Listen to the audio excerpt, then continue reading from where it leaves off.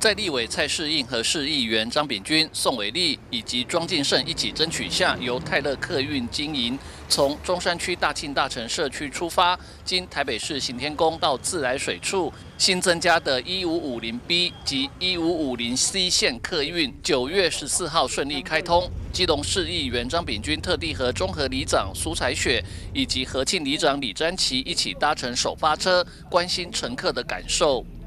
很感谢。张炳军议员、蔡思燕、蔡思燕立法委员，还有诶张张议员、张建顺议员、宋伟立议员哈，三位三位议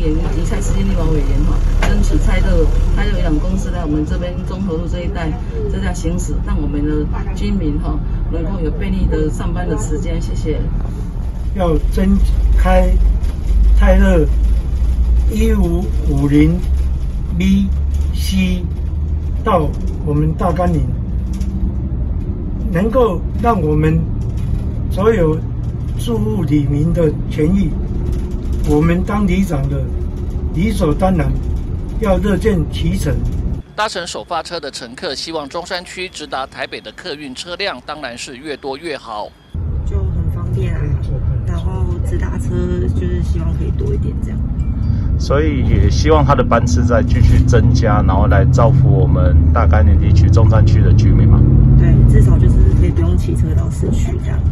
市议员张炳君强调，会收集乘客和通勤族的意见，作为协调改进一五五零 B 及一五五零 C 线发车班次、时间和停靠点的基础。现这一个路线可以提供我们中山区的居民相当大的交通的便捷。未来除了解决通勤族、通学组的通勤问题以外，更可以借由快捷公车。来让我们中山区的发展变得更好，而这条路线是由我们大庆大城发车，然后沿途有经过我们的行天宫、松江路、新生路，直达到自来水公司。那一天有五十四个班次，也欢迎所有的民众有任何的建议，随时能告知丙君，我们一定会来随时的滚动式检讨，提供更方便的快捷公车给大家搭乘。张炳君也希望一五五零 B 和西线的开通，除了改善中山区通勤族的需求，也能够有效载运台北来的游客到基隆中山区，带动当地观光。记者吴俊松基隆报道。